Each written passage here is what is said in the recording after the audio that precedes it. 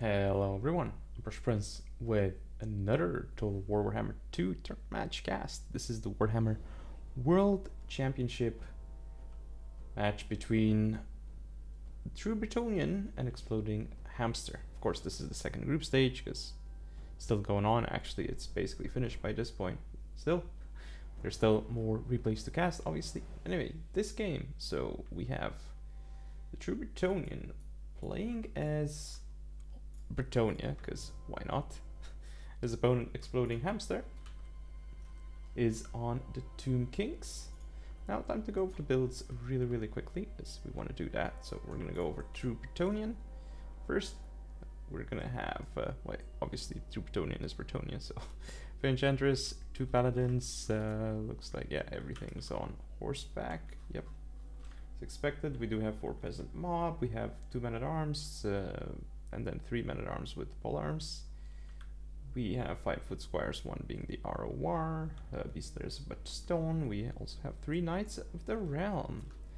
And for the Tombs King, Tombs King, Tomb Kings, have Arkhan the Black. We do also have a unit of skeleton chariots. We have two Necropolis knights with halberds. We do see a skeleton horseman as well. Front line, well, we have four skeleton warriors and three uh, skeleton spearmen. And that's it. So time to hit play. Watch what happens here. So the bone giant's already gonna be targeting something. We'll see what it's targeting. Okay, looks like it's trying to kill the beast layers of Bastonne at the moment. Not trying to target these small, nimble targets at this point. Though they're right in front of him. Let's see. It's gonna change target. Ah, it's okay. It's trying to kill the beast. Nope, trying to get the cap now. Okay. There's nothing super expensive that it could target, actually. I guess, so yeah.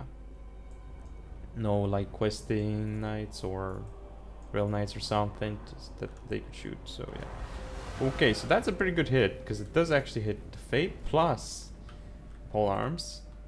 So, I mean, it's okay. It's not the best, but yeah. I have Arkhan on his chariot just doing work here on the men-at-arms. That's what you'd expect. He can be annoying uh, at the start. Now we'll see these Necropolis Knights get a good charge here and then probably pull back. see, ooh, the Bone Giant misses again. Yeah, there's uh, there's a mistake from uh, the Tomb Kings just staying in there for eh, a bit too long. Feel like, eh, okay, looks like they're gonna get out. We do see a Spirit Leech on the Fae. Skeleton Chariots doing work here. They need to disengage, though. There's a summon here, very good summon, which stops all the Bretonnian units here. So this is good at this point. These Necropolis Knights need to disengage because now they're fighting men arms with pole arms. Good job here with the pole arms uh, engaging the Necropolis Knights. Peasant Mob engaging the Skeleton Spearman. Obviously, that's not going to go very well. We'll see what the Bone Giants are going to shoot at because, well, single Bone Giant. We do see a big Fate of Buna here and a hit from the Bone Giant. There's an engagement here. Looks like Faye's doing well. Faye's doing very, very well here. Arkhan the Black is being chased by a by a paladin, a single paladin. Here comes the Knights of the Realm here to finish off the Necropolis Knight. Engagement here, Foot Squires against the Necropolis Knights. More men arms pole arms coming in on in. This is kind of crazy, like so many pole arms actually. So they are pretty well vetted, so interesting composition. Okay, though. So let's see, these pole arms are coming up here. Ooh, Knights of the Realm engaging here. This isn't the best engagement for them. They're actually going to go down because their spear support plus the halberds will eat them up. So that's not a good engagement for Bretonnia. In the center, things seem to be going a lot better for Bretonnia. Plus, the hero blob is coming on in. But, uh, oh yeah, Spirit Leeching her, but it's not going to do that much. Over time it will though. So Knights of the Realm here taking out Skeleton Chariots. Frontline engagement is going the way of Bretonnia. You don't say this too often, but I mean, they had foot squires, so they're going to win that frontline engagement. Now, balance power is still fairly even, so nothing to write home about for uh, anyone yet, but ooh, look, the Fae here is starting to get her value because th there are a few units around her. So this is where she excels. Here comes the Knight, Knight of Realm unit onto Arkhan, and that's to do well. There's a summon here. This is kind of a strange summon, though. Not the best angle for the summon, I suppose, but we'll see. It's like, uh, oh yeah, they're gonna attempt to come on in from the rear, which is good. Like, this is actually good because you want to lock them in there, but Arkhan is in a lot of trouble there. Uh, looks like at this point the men-at-arms here doing okay. Polearms disengaging, which is fairly interesting. Oh, looks like they actually have a movement order to come around here and support the middle. The middle is going the way of Bretonnian. This is what you'd expect because they have double paladin, they have the Fae. So that's that's very good engagement for them. Good squires here winning. Men at arms here with polearms winning. And at this point it's looking like a Bretonnian victory because the Bone Giant is now in melee. Probably didn't get too much value, so yeah, he's gonna pay for himself. And yeah. I guess this is gonna be it at this point, so it's time to enjoy some close-ups.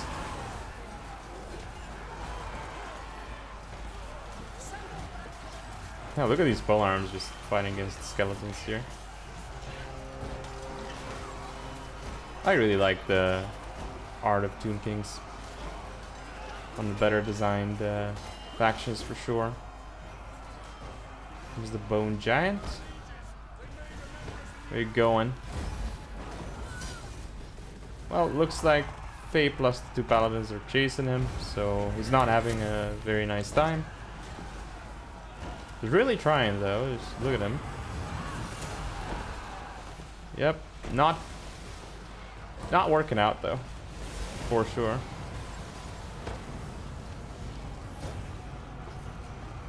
And he looks so cool. And these units too.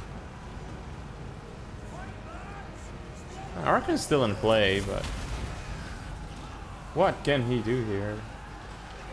I mean, he is on his chariot, and he can be quite effective, but...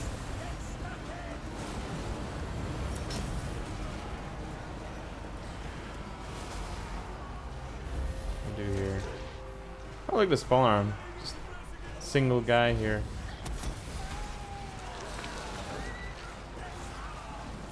They getting clobbered by a lot of these units, actually.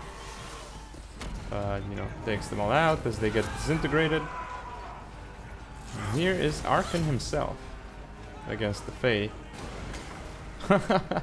okay, that was quite the funny animation. So that's a close victory for Bretonnia. Very well done.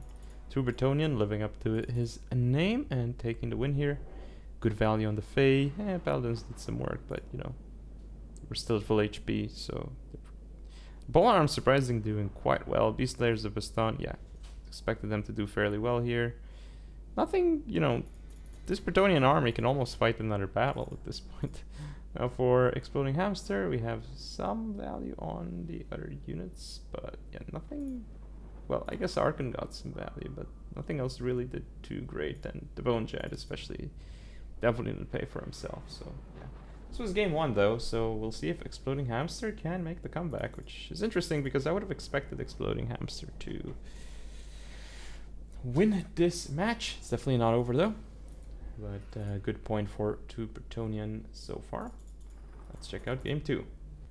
Here we are with the second game between these two players, where we have the True Bretonnian on the Vampire Coast, Exploding Hamster on the Greenskins. So let's start things off with the coast. We have Count Noctilus on, of course, his uh, mount here, Necrofex Colossus. We do see besides that four deck droppers, four handgunners, two depth guard, five zombie deckhand mob uh, polearms. Yeah, zombie pirate deckhand mob pole arms. Such long names. and three of the regular zombie pirate deckhand mob uh, units. Okay, now for exploding hamster, it's greenskins. Uh, well, we have a pretty cool build here. So so far we do see Grom the paunch, we should see an Orc Shaman somewhere as well. There he is. Uh, we have a unit of Orc Boar Chariots hidden over there. Up front, uh, looks like a mix of, well, basically four Orc Boys, a unit of Nasty Skulkers, two ROR Night Goblins, uh, basically, so they have both uh, been brought into the field, or have they not? I'm not sure. I don't see him here, but yeah, oh, there they are. Okay, never mind. The Warlord's boys are there. Last but not least, we have five Orc Arrer Boyz and four Night Goblin Archers uh, One of them being the um, what what do you call it? Yes, the Arwar. No, no, no. Four. Yes, five Orc boys, five Night Goblin archers. So that's ten archers. That's a lot. All right, let's hit play and see what happens at this point. See the deck droppers moving up as you'd expect. However, deck droppers moving up does mean that, you know, they shouldn't really take a head-on fight against all these archers because they'll obviously get slaughtered. So they should come in at an angle. And we already see, yeah, Vindictive Glare onto deck droppers, killing one of them. So that's kind of... That actually got two kills because it hit the other unit as well. Interesting.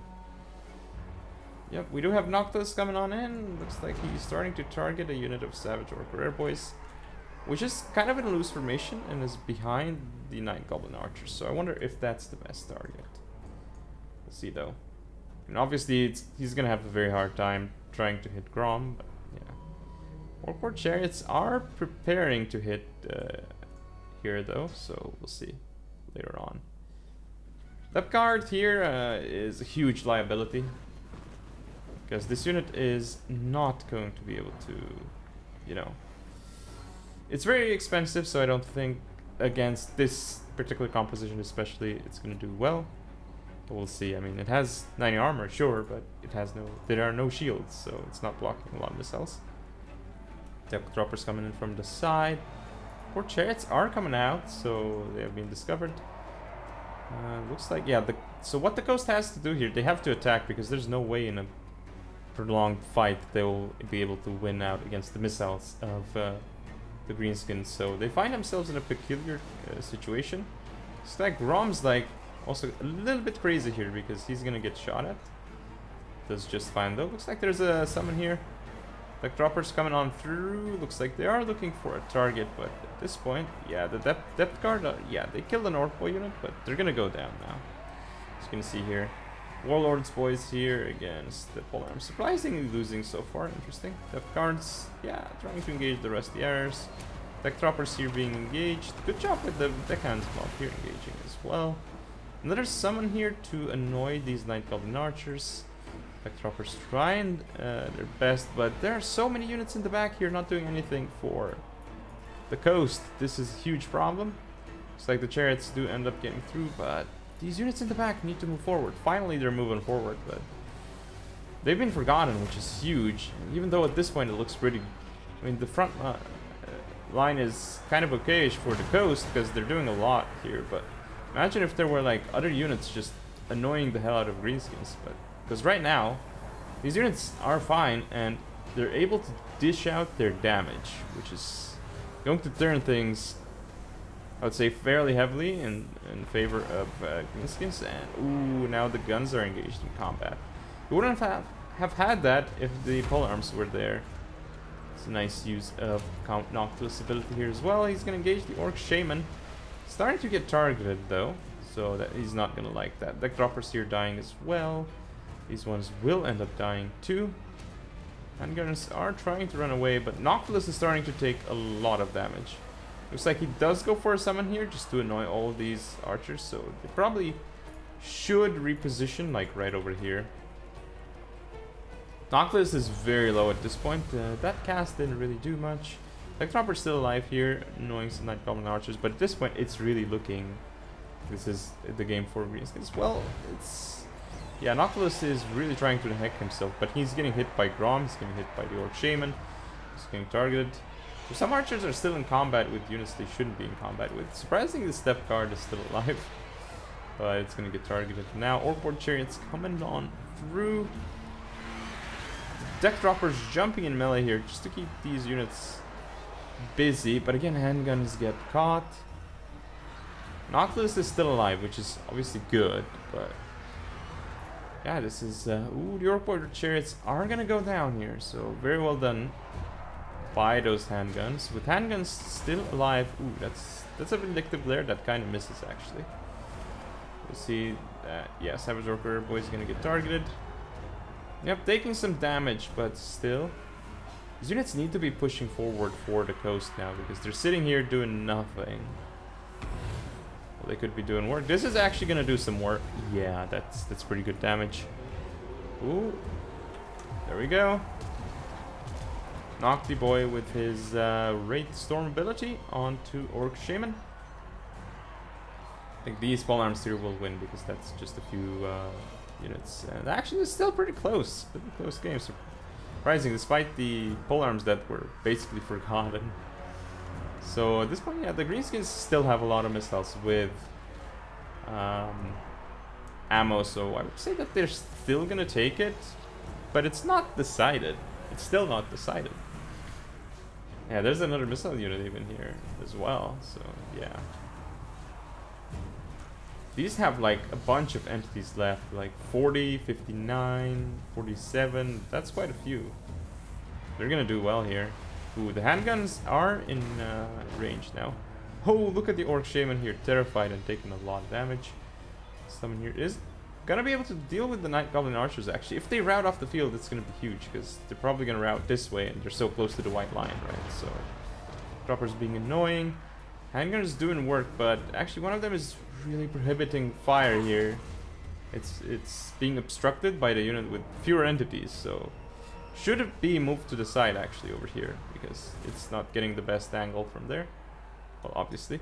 Noctilus trying to take out the Orc Shaman here. Actually misses. Okay. So now these handguns here, they're trying to engage uh, these Night Goblin Archers, and it's so close at this point. It's like Deck Droppers could be coming in to annoy those Night Goblins as well. We have more Deck Droppers coming on in. Orc Shaman's still alive. Grom the Paunch is... Still hasn't hit his regen cap, uh, so uh, that's gonna be very good for him. Deck Droppers being targeted. Handguns also doing work here. Ooh, are they on guard mode? They probably are not on guard mode because these are 65 handguns that are not shooting the missiles there. That is huge. The Spall Arms here could be going on in to attack those archers, so definitely some Miss Micro here from the coast, which can be seen. Units are still not firing. Still engaged in melee. That is that is very, very important. At this point, looks like Grom the Paunch is coming on in, and he's gonna hit straight for these Spall Arms. Gonna be a Raid Storm cast though, so we'll see how much it does do to him. Oh my goodness, that, that was a lot, and now we can see his uh, heal cap Okay. Still very, very close game. This is really intense at this point. Deck droppers are still alive. These uh, pole arms are doing work. Oh, but the greenskins have more missiles coming back. Oh, what a hit onto Grom. He's at 400 HP. That was, that was brutal. Brutal. These handguns are engaging the Night Goblins, so that's not good for them. It's like this unit needs to be get taken out here because it is quite close to the white line. So, uh, yeah. And it's 39 of them. Deck Dropper is really chasing off Grom. They need to keep chasing him because if he comes back, he's he's gonna be trouble for uh, Coast for sure. And right now, Coast has the balance of power in their favor. However, a bunch of their units are crumbling. Leadership here is very, very spicy, so to say. Warlord's boy is gonna get a good charge off here, though. And Noctilus, yeah, he's getting work done, but this unit is getting shot down, which is gonna change the balance of power. Wonder if the, these two units, how much damage they'll be able to do. The full arms here fighting against 12 Night Goblins. Noctus firing, getting a good vo volley there. Good shot. But now it's kind of soon to be Noctus. and oh my goodness, Grom the Paunch is back. He's back and he is running away. He has survived the deck droppers that were chasing him. Which is very unfortunate for uh, the coast because had he died here, right off the field, this... Well, this still wouldn't have been over because there's still a few missiles here which if, uh, if they kite properly, do work. So, ooh, this is a big invocation of Nehek on Noctilus. Very, very helpful indeed. Alarms here getting kited by uh, greenskin archers. Very interesting, but this point it's it's getting worse and worse as time goes on for for the coast because Grom is healing. He's coming back to the fight. And this unit is going down. Ooh, the Night Goblin Archers shattered. That is huge, though. And these units are with. Oh, they're they're not off the field. Even though they have 16 leadership, one shot would do them in here potentially, especially with this formation. So they need, we need to see one shot from Noctilus into this. But oh, he's actually gonna go in and attack the infantry. I'm not sure if that's what he wants to do. I think he should just give a volley into that unit. That would be huge. Does actually shatter the Boy there. The depth dropper is just chasing off Grom, but Grom is still alive. And he's in very good shape. Yeah, we need to see Noctilus get a good volley into this one, and that's gonna route them probably. Has ammo. Is he? He has vision, so it's it's pretty crazy that he's okay. Not actually firing. Come on. Okay, that's not what I expect to see. Oh, there's a summon. That's gonna be... Oh, that's not gonna work out, is it? It's not gonna route this unit. It, they are touching them, but are they able to route them? Zero leadership, just zero. It's barely not negative, and these units shatter off the field. This unit shatters too. This is huge. However, was that a mistake not waiting for a Nehek? Oh, and look at the deck droppers here. They're, they were kind of trying to fight Grom, who's still on lowish HP. Noctilus here engaging the Orc Shaman, who's getting terrified, and now he's gonna get shot at by Noctilus. Vampire Coast. They seem to be winning this.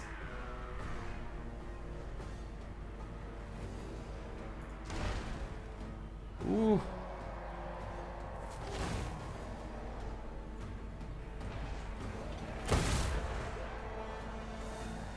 Shaman routing off the field. Grom the Paunch still alive, so... That balance of power was so much in the favor of Coast, but it's no longer the case. And this, this unit is going to actually disintegrate. Because it is a summon. Though the Orc Shaman is getting hit pretty hard by Noctilus. And look at Night Goblins. There's still two Night Goblins actually tickling Noctilus here.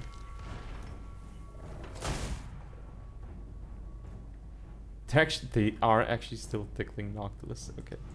Noctilus is doing. Yeah, he's making a mistake here. He needs to be targeting the, either the Orc Shaman or Grom. Actually, I would target Grom at this point because that is the the target that could do you in. Oh no, for uh, for Noctilus and oh yes, for Grom, the balance of power is also changing. At this point. This was an insane game, but it is going the way of the greenskins here. Nothing that Noctilus can do at this point. Uh, even though he's trying his best to to snipe out Grom, but he does fall. And there he goes. Coast loses this, which is very surprising considering how the battle was going, but also very surprising considering how well the battle was going for Greenskins earlier. So this switched hands quite a lot, but Noctilus the value. Wow. Depth guard, yeah, they, did more work than I anticipated, but yeah, handguns don't work. Droppers mostly not doing the best, but yeah, the value on Noctilus is huge. Oh my goodness, that Orc Shaman. Massive value. 2k. Uh, yep, the ROR Night Goblin's doing fantastically here. But yeah, obviously this, the missiles would do well for the Greenskins because that's the core of this army. No. Issues here, well, True I, I don't know about the two depth guard, but sure. I mean, it's not like I played this matchup from the coast side, but I don't think, well, against this build specifically, I don't think that they're gonna be a great unit. Um, other than that, I guess the build's pretty good, but the problem was here just these units in the back not pushing forward to keep the guns safe and to annoy the enemy greenskins to have to kite because they could just sit there and shoot for more than they should have. This is game two though, so this means it's a 1-1 and we're gonna head on to an exciting game three. Well, at least hopefully exciting. And here we are with the final game of this match. Yes, indeed, it has gone to a game three between the True Bretonnian and Exploding Hamster. We have uh, in this final game Norsca for the True Bretonnian and Empire for Exploding Hamster. So, whoops, let's have a look at the builds. The True Bretonnian, well, we do have a Froggy, Shaman Sorcerer of Death, three Chaos Marauders, or I guess it's just Marauders for Norsca four uh, Marauder Berserkers, four Skin Wolves, of which two are the armored variant, two Norscan Ice Wolves as well. Now on the other side, we have uh, Exploding Hamsters Empire sitting over here, nice and cozy, camping, which is fine because you know it's uh, it's, it is a valid tactic to use. But Let's take a look at the situation. So we have Volkmar the Grim, an Amber Wizard, Hellblaster Volley Guns, Knights of the two Knights of the Blazing Sun, three Handgunners, one being ROR, four Spearmen with shields, two Flagellants, one being the ROR as well. So against Norsca, like this is all uh, an approach you can take, which is like take it easy and camp it out and force them to come to you. They usually are gonna do that, I suppose, as it is fairly rush heavy faction. Wait, that's a bright wizard, not an amber wizard. My bad. What was I saying? so yeah, this this is a very very good setup here from the Empire. I do do like it. Well, I don't know if it, it's a very very good setup, but at least I like how he has set himself uh, up here. We'll see if uh, it's good enough to stop the Norscans here. There's also another approach with like uh, more huntsman archer focused uh, kind of uh, playstyle with the Empire, but it's not meant to be here. Archer focus isn't uh, what we're having here, but the handguns handgunners could do quite well to, to shout the damage against the large units here. we'll see. Marauders getting targeted currently? I'm not sure. Well, the Hellblaster volley guns are doing work. Okay, so the Bright Wizard here is in quite some trouble. So the Blazing Sun, they're gonna be ready. And yeah, nice uh, pullback from the Norscan Ice Wolves.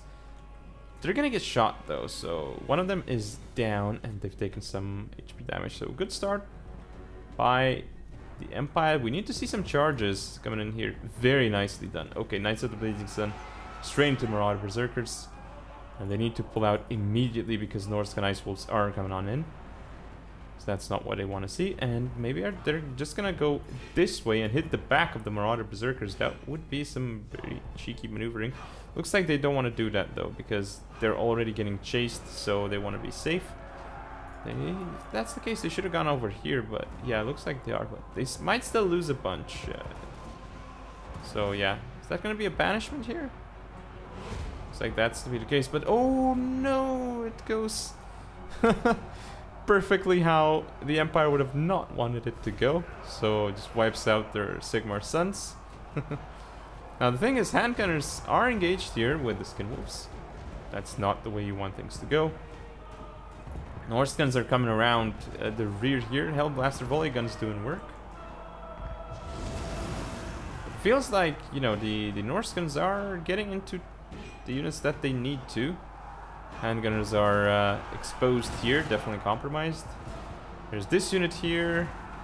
This unit here as well, that's in melee with Marauder Berserkers of all units, so that's not going to go well for it. More Skin Wolves coming in as well, so we'll see. These Skin Wolves pushing on through. We'll see what happens here, but the Knights of the Blazing Sun are here to support our units, and wow, okay. That was uh, as an attempt to take out those berserkers. Skinwolves are alive though, and Skinwolves, you know, if, as long as you don't lose entities, they're gonna heal periodically, so yeah. Marauder Berserkers coming back, but is is the rush of Nor Norsca starting to attrition down? There may not be a lot of infantry left for Norsca. If that's the case, Oh, there's still a bunch of skin wolves and the Marauder Berserkers here. Another unit that comes back here. So, yeah. Yeah, those skin wolves don't want to fight against spearmen. That was a very good trade for uh, the Empire. And they have guns. They have the Hellblaster volley guns as well. That's a lot. Uh, oh, and the Norscan's actually taking a brief pause here before attacking the handguns. There are spears to defend them. There's Knights of the Blazing Sun as well to defend them. We actually refuse to defend them. Okay. Still, oh, the Norscan Ice Wolf's got a move order and not an actual attack order. Which means that they're not actually gonna do the job here. But yeah, very good situation right now for the Empire. With the Silver Bullets uh, trying to do damage to the Skin Wolves. These Spearmen here are holding valiantly. Two of them Spearmen with shields. Just doing the work that uh, the uh, Volkmar commands them to.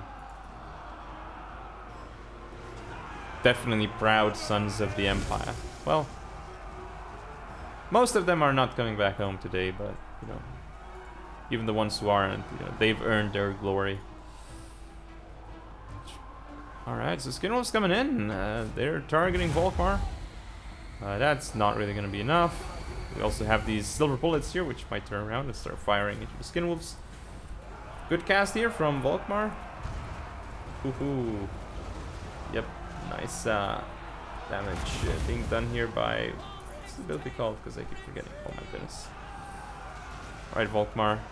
Yes, it's Grand Soulfire. How could I forget that ability?